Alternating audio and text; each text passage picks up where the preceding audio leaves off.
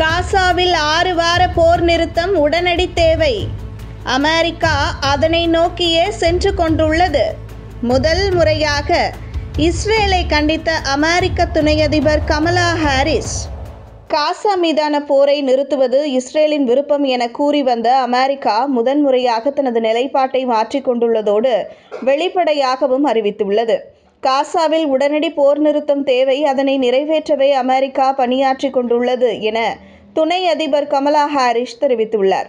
காசாவில் மிக மோசமான மனிதநேய பாதிப்பு ஏற்பட்டுள்ளது. ஆறு வார போர் நிறுத்தம் உடனடி தேவை அதனை நோக்கியே அமெரிக்கா சென்று கொண்டுள்ளது. இதுவே பிணைய கைதிகள் விடுதலைக்கு வழிவகுக்கும். காசாவுக்கு முழுமையான மனிதநேய உதவிகளும் கிடைக்கும் என கமலா ஹாரிஸ் குறிப்பிட்டுள்ளார்.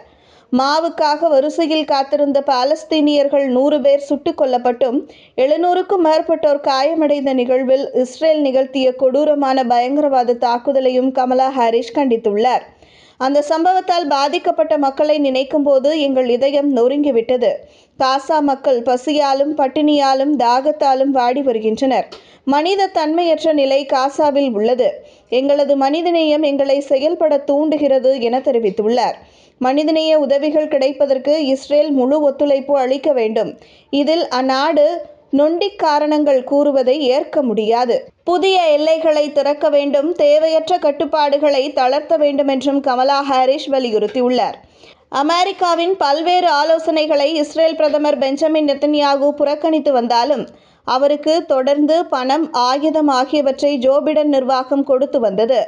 இந்த நிலையில் இஸ்ரேல் எதிர்க்கட்சித் தலைவர் பென்னி கன்ஸ் பிரதமர் பெஞ்சமின் நெத்தன்யாகுவின் எதிர்ப்பை மீறி அமெரிக்காவுக்கு சுற்றுப்பயணம் செய்தார். துணை அதிபர் கமலா ஹாரிஸ் அமெரிக்க வெளியுறவுத்துறை உயர் அதிகாரிகள் பிளிங்கன் சுல்லிவான் உள்ளிட்டோரை சந்தித்து பேசினார். இதன் மூலம் அமெரிக்கா நெதன்யாகுவுக்கு அளித்து வந்த ஆதரவை பென்னிகன்ஸுக்கு மடைமாற்றம் செய்திருப்பதாக கருதப்படுகிறது.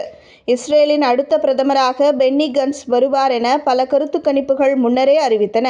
எனவே விரைவில் பெஞ்சமின் நெத்தன்யாகுவின் பதவி பறிபோகலாம் என தெரிகிறது.